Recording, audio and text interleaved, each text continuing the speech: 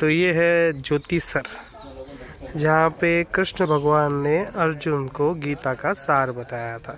मतलब कि गीता का उपदेश अर्जुन के द्वारा पूरे संसार को दिया था और ये जो पेड़ आपको दिख रहे बरगद के पेड़, ये उसके प्रूफ हैं। ये कहा जाता है। और यहाँ पे छोटा सा कुंड है। और यहीं पे हमारा पूरा परिवार, ये देखिए, पूरा परिवार आया हुआ है। सभी एकदम खुश क्योंकि खा पी के बैठे जो हैं।